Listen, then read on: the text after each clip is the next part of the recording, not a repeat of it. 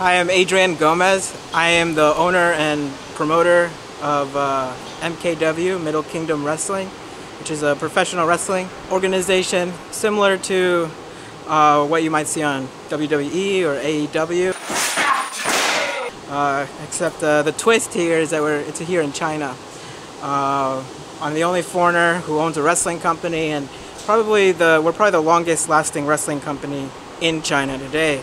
Um, really, we've uh, had a bit of a tough year this year because of the COVID-19 pandemic, uh, and we just got wrapped up uh, fin uh, finishing uh, our tapings, set of tapings, which are which is a for a new kind of show behind a closed audience. So we can't really sell tickets these days, but we're looking into moving into uh, creating a, like a television show similar to what you might see on a AEW, Dynamite, or WWE, Raw, and so on. Um, and yeah, uh, we're all pretty exhausted. We just finished uh, two days of tapings. It's uh, 10 matches a day. Uh, some guys had to fight uh, three, four times in a single day uh, because we're filming episodic content. Um, and I'm happy to, we're, we're finally back.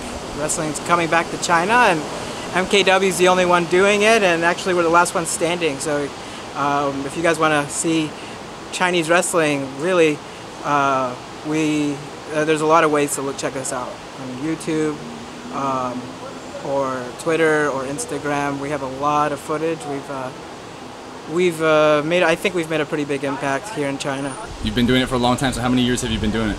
Uh, we actually opened in 2015 in June. I'm sorry, uh, July 2015 is when we uh, first uh, opened. So yeah, five years now.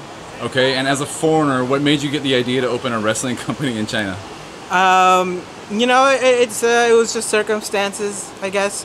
Uh, I always actually saw myself uh, being involved in the wrestling business, um, and the time where I felt most serious about doing that was actually right after I had already uh, been settled in China, uh, got married, uh, and but I thought, you know what, I can still, I can still do this because there's not a lot of wrestling in China before me, uh, before MKW. So I thought, you know what, um, I, I think I'm in the right place to do it. I think I'm the right person, and that's what we're doing. So, do you have any advice for people that just in general that want to open a company in China? Like, uh, to be an entrepreneur in China is very tough. You know, I, I know it, you know it, Nick knows it. There's a lot of us entrepreneurs and kind of in and around Middle Kingdom wrestling.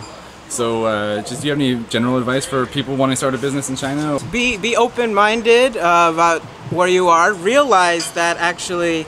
Uh, this is not, I mean, rules are different here. Rules are different than what you're used to in China, uh, in your home country. So obviously when you're opening a, a, company, whether it's a wrestling company or a restaurant or so on, uh, you, you really have to uh, think about you really have to think about the place that you're doing it in. In this case, we're doing it in China, so you have to uh, meet their tastes of the, the general demographic taste here, of the people here, and, and do things in a way where you can still have your you can still bring your culture to China, but you have to find a way to kind of mix it together, and also be willing to uh, to to meet with a lot of people uh, and and be professional and and and um, there really is it could be a whole literally a whole book of of uh, on on tips on how to open a successful business in China. One more question. Um, so you mentioned that COVID nineteen has changed the the plan for like this year. Um, so in China here, we're kind of already kind of past COVID nineteen a little bit in, in some ways. So do you have any advice for people that have entertainment companies abroad that are trying to get over that hump and what they should do? Well, forward? you really have to think about uh, the current pandemic in your local place. So the pandemic is still a huge issue around the world. But where I live right now in China, in Harbin, uh, it hasn't been an issue for uh, several months. And that doesn't mean we're just going to start opening shows and, and, and, selling, you know, tickets with with a large in large stadiums. No, we have to find an appropriate way to reopen our company that can fit the the, the times that we're living in. Uh, in this case, uh, I decided to, to do a couple of closed events where we focus on the film uh, and focus on the video, uh, and, and, and instead of drawing a huge crowd. So that's the, you know, that you might need to find a new way to to uh, uh, to to execute your your reopening of your company.